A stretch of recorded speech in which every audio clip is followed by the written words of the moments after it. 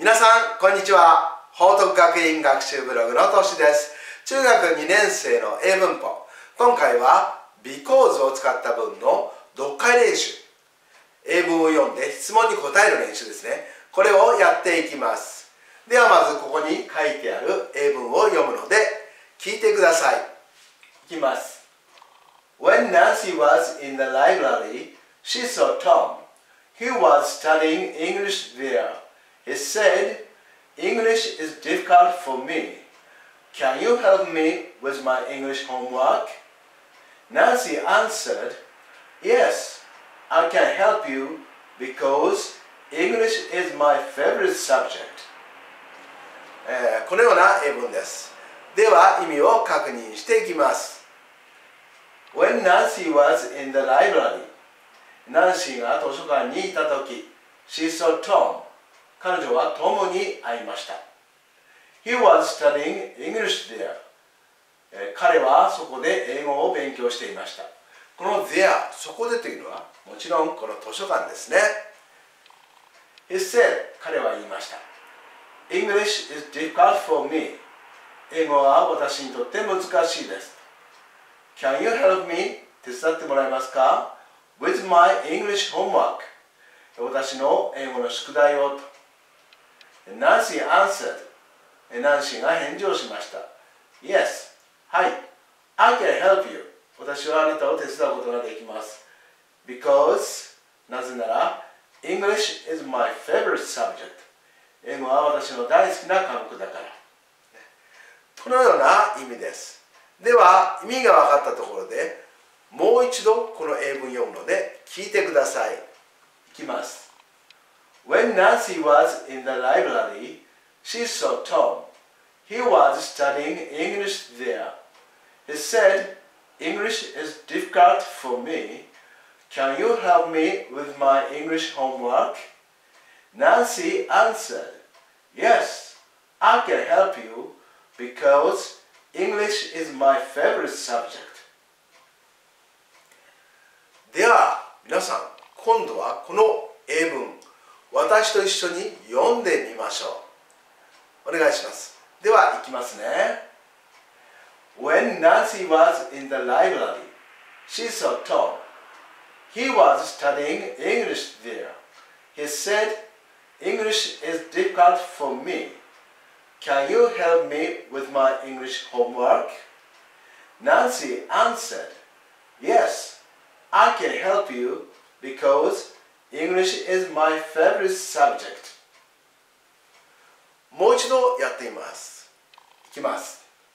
When Nancy was in the library, she saw Tom. He was studying English there. He said, English is difficult for me. Can you help me with my English homework? Nancy answered, Yes, I can help you because English is my favorite subject. いかがでしたかでは質問を見ていきましょう。最初の質問。Where was Tom studying English? Where was Tom studying English? Where ですからどこって聞いていますね。どこでトムは英語の勉強をしていましたかとこういう質問です。この2行目に He was studying English there 彼はそこで英語を勉強していました。このそこというのは最初にも説明しましたけれどナンシーがトムとあったライブラリー。図書館のことですですから He was studying English in the library ね He was studying English in the library これが答えになりますねでは2つ目の質問 What was Nancy's favorite subject? What was Nancy's favorite subject?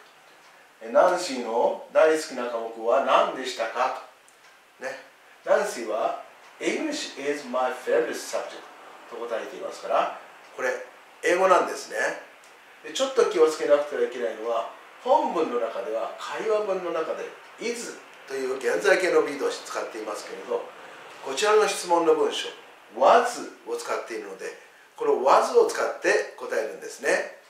ねそれは英語ですから It was English ねこのようになります。It was English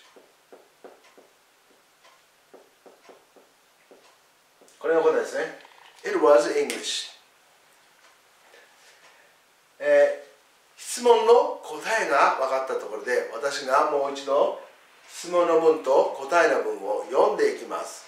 皆さんはどうぞこの答えの方を私と一緒に読んでみましょう。ではいきますね。質問は Where was Tom studying English? 答えは He was studying English in the library. 2つ目の質問は What was Nancy's favorite subject? 答えは It was English もう一度やってみますね質問は Where was Tom studying English? 答えは He was studying English in the library 二つ目 What was Nancy's favorite subject? 答えは It was English いかがでしたか今日も最後まで見ていただきどうもありがとうございました。皆さんはどうぞ英語の学習の中に英語を声に出して音読するこの音読という練習を取り入れてみてください。ではまたお会いしましょう。さようなら。